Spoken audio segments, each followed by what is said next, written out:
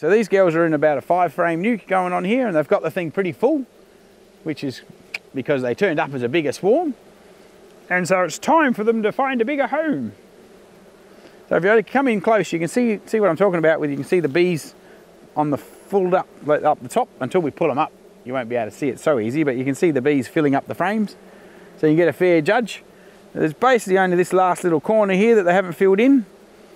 So they're all working away happily wondering what these bloody polar bears are thinking, but they, they'll be happy to see us once we rehouse them into a bigger house. Then they can make more babies and then they go poof and explode and become useful.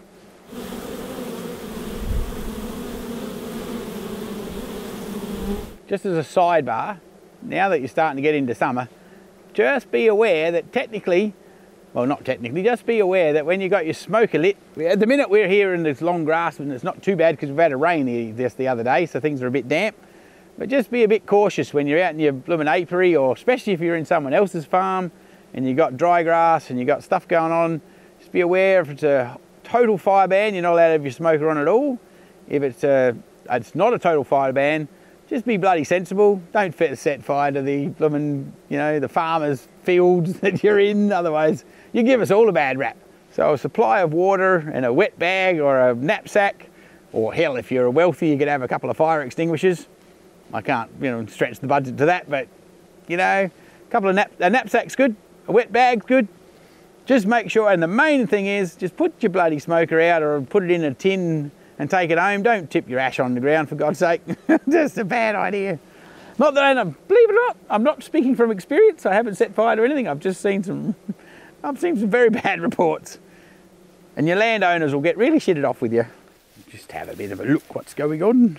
Hopefully we got some boxes in here still. If I can find the right key, that'd be good. One good thing about these bee suits, at least they keep the flies off your face, as well as the stings out your ears. This is not the easiest door to get open. I think the paddock's moved. Oh! Ruth. is a stable little doorway. We've got a bit of an ant infestation as well. I reckon one of these boxes will be fine. But I reckon these are the boxes we fixed up not so long ago. Well, not these lids, these boxes here on here. So I reckon we'll pop them in there. Our little nuc box will be happy in there. They'll have some room to move, they can make some new babies, and then when they get too full on there, we'll pop a super on the top. And if we're really lucky, we might even get some honey. Whew then you might be lucky and you can get some of that honey. But at the minute, it's a bit hard to come by. Chuck these out the way, I think. I'll pop these over here because these are the to be done lids. so depending on how we go for time, we might be able to take some more of this back home to fix it up. Give it a bit of a paint, bit of a bit of a lick up. Then we can bring them back and get them all full of bees and they can be all happy. Do you reckon ants and bees are related? Because, you know, they do act a little bit similar. They all get very excited when it's going to rain. I know that much for free. So, yeah, get off. I'm glad they can't sting me. What have we got going on? So I don't think ants are actually all girls, are they? I don't really know. I wonder if anybody, just imagine that, being an ant apologist and trying to sex. I mean, hell, look how big they are. Imagine how big their organs would be. It's like, oh, tell what. How would you tell? All right, yeah, anyway. Ah, rambling on. I've got a few frames that we left here. Where do we got? Five in that box. So we got six over there, so we should only need five mil from there into there. Put the brood in the middle, the new frames either end, lid on the top, and away they go. Be like a blooming build on, wouldn't it? You know, imagine when you come home, what's that crazy show, um, Renovation Rescue, when you come home from your holiday and you go, oh my God, I've got a sunroom and a parlour and Oh, and the girls have got a bedroom each, and oh, look at this, holy doly doly. The field bees will be flying back home going, man, look at the work we've put in. You see, you put in girls, and you get a house extension. It's all good. Oh, I'll tell you, I'll power on. Do you think that's how that'd go? I don't know. We'll pop these in there because I think that's all we're going to need because we've got five, six, seven, eight, nine. So perfect. That and lid. Maybe I'll make you carry it because it's all covered in little ants. Feel like bitten, getting bitten? Yeah, that looks nice. Roll it on. Oh, goodness gracious. It's a bit of an obstacle course, isn't it? At least it's not crazy hot.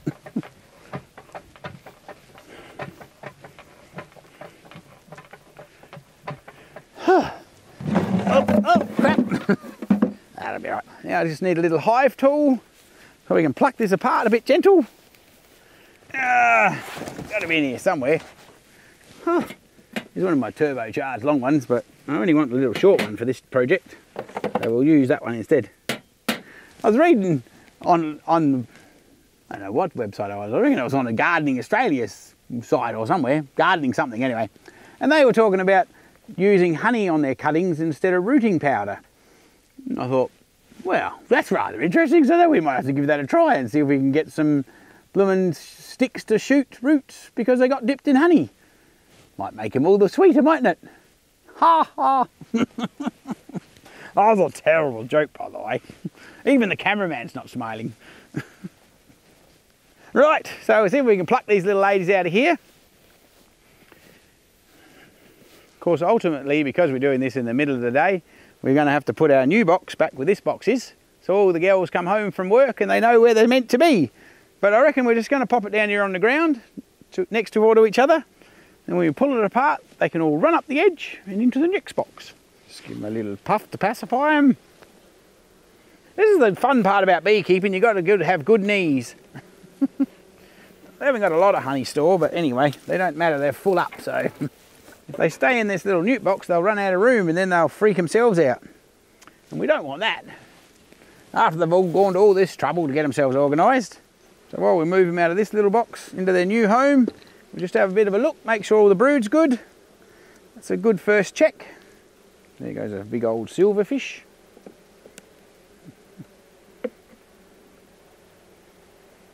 Just be, just be careful that you don't do anybody an injury, especially the first one when they're a bit chock, because they can be a bit full up. And the last thing you want to do is blooming do the queen a damage when you do this job, otherwise it's a bit pointless, isn't it? Because you all know the most important girl in the box is the queen. Because without her, everybody's in strife. But the interesting thing is she's not totally in charge all by herself. It's really a bit of a democracy, apparently, according to researchers. Because it's not like our concept of royalty and the human system, where the queen's all powerful. I mean, she's all important, and everybody knows she's important in this system. But she's definitely not all powerful because it's it's um, it's group rule. If she starts to not perform real flash, or things aren't going the way everybody else wants in the box, she either she gets two options. She either gets to thin down a little bit and create a swarm and bugger off with some of her followers, or um, yeah, she just gets supersedes and that doesn't end well for her at all. So it's all about what's best for the colony, not necessarily what's best for the queen herself. Oh, well, that was rather interesting. Nice little bit of young larvae. They managed to lay a few drones, which is typical. gentle, gentle, gentle does the job. No need to get excited. At least these ladies are nice and relaxed, so they might be good. If you can spot the boss, well, that's all well and good. But if not, as long as you can see where she's been, that's good enough. Otherwise you could spend the whole afternoon here looking. We're going to be one short, I think. Can't count. yeah, typical, isn't it? They look pretty relaxed, so that's good. like I said, I still haven't seen it. That's a nice, nice pattern on that frame. Little few gaps and stuff, but that would have been what's hatched out already. She's doing a nice job. They must have been found something to eat. one little last one here. Of course, they've all come running out the hole in the side of the box, which is great. Very helpful. It's typical, they always seem to swarm into the most complicated little boxes. Mind you, if you go looking over there, there's a swarm that landed in an old stove, I think, so that could be fun. Oh, might need Mr. Muscles to help me lift that one.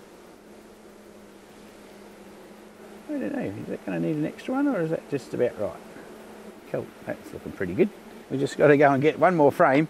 But now, just remember if you haven't actually spotted the queen, make sure that she hasn't blooming run out here on, on your leg or on the side of the box. I think she's still in there because they sound like she's still with them, but if you haven't spotted her on a frame that you're transferring, You just have to be a bit extra diligent about what's left in this box. Some running up the wall inside here, some clustering on the front, some stuck to me leg. And so you just gotta, yeah, just take a bit of extra care if you haven't seen her. If you've seen the queen, you can just chill out a little bit more and the, the other bees will figure out where the hell they are and they'll fly back and, and get back into the nest anyway. But if you lose your queen, of course, you lose a whole blooming month worth of activity because they've got to start again. Well, that's a bit silly. That's just a trick for young players. I'm just going to get up. I'm going to shake the bees off this leg and I'm going to go and get another frame and then we're going to sit the box up on that drum. Suppose I should just shake them in the new box, shouldn't I, if I can get up with them on my leg. Hello, everybody. Oh, shit, don't do that. I don't think there was anybody important on my leg, but better to be safe than sorry when you haven't seen the boss. Right, now, a little bit of smoke in this box, and they might run up the edge of the box and into the new home. They all ran out the front instead of up the hill. Typical. Where are you, boss woman? Are you out here? It's not what we want. There's a hole in my bee box, Delilah, Delilah. There's a hole in my bee box. With what shall I fix it, dear Henry, dear Henry? With what shall I fix it? I'm thinking with propolis, dear Liza. So where shall we get some propolis from? Well, I think we need a pine tree with some sap. We'll just chew it all up and stick it in the holes and keep the weather out. Or perhaps a human will come along and give us a better home to live in that doesn't have a hole in the back. Oh, ah, shivers. just another little bit flew off the back. I think this poor little nuc box has seen better days. Maybe it's a bit like me. Just a little bit worn out. Oh dear, oh dear. yeah, I had great plans that I was going to sit it in front of there, but now I've managed to get some around the back as well. Right, so we'll just pop that out of the way. I'm just going to put the box opening just back here a little bit while we go and get the frame. I don't think these girls can fly because they're just little, well, they probably can, but they don't want to because they're just little nurse bees at this stage. So you see them run in? See if we put it there like that? So we just get them to run in a bit more. Just saves you losing them anyway. They're all over here in the grass a bit too. And of course the ones that want to fly, when you smoke them, they'll fly off. And look at them all orientating back to where they think they live. The ones that are nurse bees, or God forbid bid the queen sitting out here, at least you can run up the box and just walk back in and you won't have lost anybody. Hopefully she's not down there, that will suck.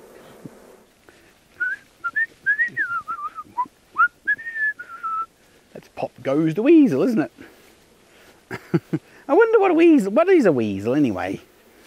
It's probably something that's not real friendly, some sort of animal. I'm guessing it's an animal, thank you for your commentary.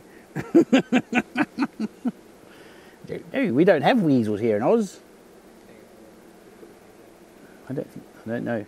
Well, I think this is one of those silly boxes It's not quite 10 and it's not quite 8. It's sort of somewhere in between. Oh, man. it's a little bit like a teenager, isn't it? It's not really an adult, not really a child. It's somewhere in between. I don't know, why would you make nine frame boxes? Anyway, they did, and here we are. so we'll just wriggle them back across a little bit. Give them all a little bit more room, I guess. oh dear. Cool, and then we're just going to pop them back up on the drum where they lived. So you can see that all the field bees are coming back here and wondering where their home is. And um, yeah, one would hope they come whizzing in the door and think, look at that. Oh, it's the great reveal. Oh, look now, it's a bush bee man house renovation. oh, what are you chicks doing down there on that lid? That's not blooming helpful. oh, we'll just pop the lid on. I'm not really sure whether it's worth the aggravation or not, but we might put some frames back in that little nuc box and sit it over the tree over here a bit further. You never know. It's a bit late in the season, but we might catch a little one and well, anyway, what's the worst thing that can happen? It's got, it's a little bit beshabbled, so it won't really be putting back in the yard anyway. So I don't think I'd want to be putting a proper split in it. Talking about splits, we could probably have a look at that too, couldn't we? Have a crack at that. Go over the yard, we'll do a split for you. Oh, golly.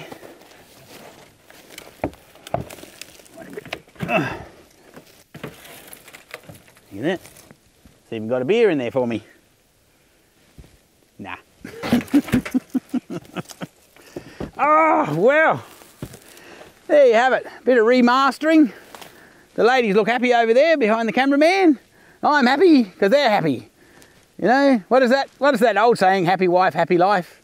Sort of gets down to happy bees, happy life around here. Whew. Well, at least at least bees that don't hate me too much.